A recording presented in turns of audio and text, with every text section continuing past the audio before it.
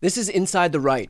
So, Tim, we've got some really big news here. According to at least three polls in the immediate aftermath of Trump's conviction, there has been a slight swing in Biden's favor. That was the Reuters Ipsos poll, Morning Consult, and then Echelon, with the Echelon poll even using the exact same respondents and still clocking a two point swing to Biden's favor. Do you think that this is a sustainable move, or do you think it's fleeting? Well, I think it conceivably could be sustainable. I, will say this, and rather than try to predict what happens with the polls, I think objectively speaking, being convicted of crime of 34 felonies is not a political winner, and that Trump is like has managed to gaslight un- enough of the political pundit class into like being open to the possibility that this could help him or whatever that they're spinning. I mean, I, you know, it just put it this way.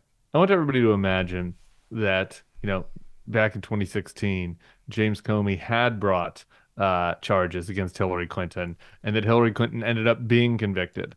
Would there have been anybody out there being like, "This is a winner for Hillary. This is really going to help her now that she's been convicted of crimes"? Like, of course not. I, I, Trump gets treated so differently from everybody else, and I, I think that when you just kind of wash away all the nonsense, it's not that surprising that there is some group of voters that are going to be turned off by this. And, you know, uh, one other thing that I thought was interesting is if you looked at, I believe it was the ABC poll, you know, of people that have a negative view of both Trump and Biden, uh, they overwhelmingly you know, were supportive of the, you know, thought that the jury reached the right conclusion and thought that it was bad that Trump was a felon and, you know, thought it was going to impact their vote. So it's like that isn't surprising. It's not surprising that there is this category of people that don't particularly like either candidate, um, and that Donald Trump being convicted uh, by a jury of his peers has moved some percentage of those people, you know, towards either supporting Biden or off of Trump, um, and you know, as they try to weigh options that they don't really like. I think that's just logical, and that all of the other spin post trial has been, you know, just that a lot of BS spin. Is this what you expected to see with regard to this polling in the immediate aftermath of the conviction? You know, I, I always like my just general um, bias on dealing with polls is like I like to wait a couple weeks and just see. I mean, I, you know, I think the instantaneous polls are kind of interesting. The echelon thing you mentioned, I think, is interesting in that they went back to the same people that they had polled yeah. before, and two percent of them had moved to Biden. I, I think that's particularly telling just because it's like those are real humans that they found to change their mind, right? So that tells you something. Um, and so, uh, you know, I, I, I, take that as the most interesting one. On the other polls, I, you know, it just, you know, sometimes it takes a little while for this stuff to like really simmer with people, you know, for it to sink in, for people to like come to terms with their positions. You know, they have to their neighbors or whatever media outlets, you know, start spinning. You know what I mean, spinning them, and so sometimes yeah. there's a lag in in the in the reaction. But I'm not that surprised that there's a that there's a slight move to Biden. I, I didn't think it was going to be a silver bullet. Um, but I also thought that it was going to marginally hurt Trump, and and so far that's what it seems like. Right. Well, you know, the Trump team and their mouthpieces have been leaning leaning in on, this idea that this was all some big mistake by the left, even though, again, it's not Joe Biden. It wasn't the Democrats who, who brought this prosecution forward. It was the Manhattan DA. But this big mistake by the left, and it's going to backfire. And now millions of sleeper Trump supporters are going to come out of the woodwork and they're going to be mobilized. What's your response to that? Because like you, like I don't know, maybe maybe I've lost touch with common sense, but I also tend to think that being a convicted felon is not in fact a good thing for a campaign. Yeah, I just really think that that was all a fantasy in which case I, I do think this.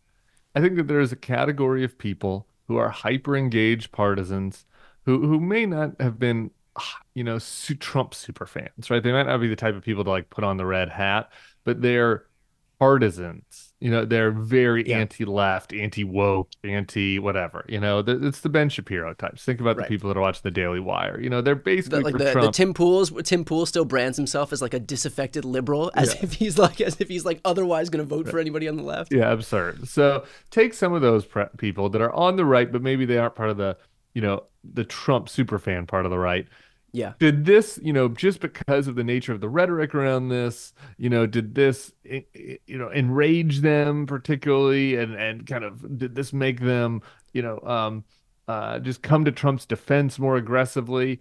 I think that's possible. That's real. You know, there are a lot of MAGA, you know, there are people out there consuming a lot of right wing media that have bought the BS about the justice system that now might be more excited to vote for Donald Trump or to support him than they were before. But like, you don't get you don't get extra credit for your vote if you're more excited about it, right? Like a vote is a vote. And so are some of those people donating now? Yeah, I think that there's some evidence that Trump's raising more money now. And I think that there's some evidence that he's kind of consolidated people that were already gonna vote for him anyway, but maybe reluctantly, and now maybe they have a little bit more enthusiasm. But that's very different than like winning over new people you know, and, and it's just hard to see how being convicted of 34 felonies is winning over people that didn't like Donald Trump in the first place. And, and I think that, that they're really, that they're either spinning or they're buying their own BS if they think that's happening. Right. Char- Charlie Kirk uh, posted online, I support Trump more after this crap. We must win. Like, now Charlie Kirk is going to cast his one single vote for Donald Trump even harder than he would have cast it before. You're know? already a Trump propagandist. Like, how much right. more could you support him, Charlie? Yeah. Like, the whole thing is just, you know, all about these, you know, right wingers being in their feelings, and you know, the, you know, they, they always like to call the left snowflakes, and and that was all just a bunch of projection because they're all a bunch of snowflakes. They're sensitive, and they, you know, if they get, you know, if they have to uh, see accountability for somebody on their side, now they're going to lash out and pretend like they're really mad and have a temper tantrum, and that's fine. I mean, I, I think that's real. I think that there are some right wing, uh, you know, hyper online, you know, uh, activists that are more angry now or more ex- enthusiastic now. But I, I, don't, I don't think that that, you know, is that relevant to the, to the voting group that's going to decide the election. Well, what undermines their argument is that at the same time that they're decrying Joe Biden's weaponization of government, Joe Biden's son, Hunter Biden, is on trial literally right now, like literally today. So it's really hard to claim that Joe Biden is weaponizing the government against conservatives when apparently he's allowed the government to be weaponized against his own family. Like, do you do you really think that Don Jr. would have ever stood trial while Donald Trump was president? Uh, well, I don't know. Maybe because he might have got a DUI. Um, but uh, I like look. I, I this is where I think the Democrats need to bang the drum on this. You know, sometimes the Democrats are a little bit too sensitive, and I, and I think that there's some sensitivities.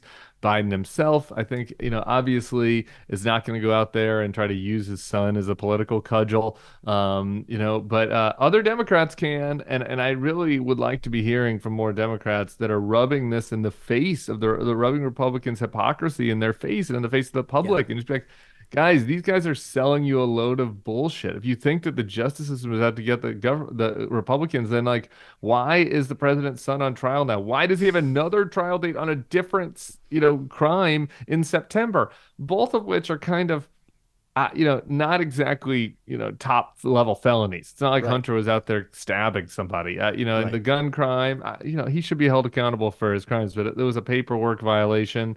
You know, so it's not like this is a situation that is very that very clearly demonstrates that this Justice Department is not acting in a politicized way, and I think the Democrats need to make that point, even if it's a little crass.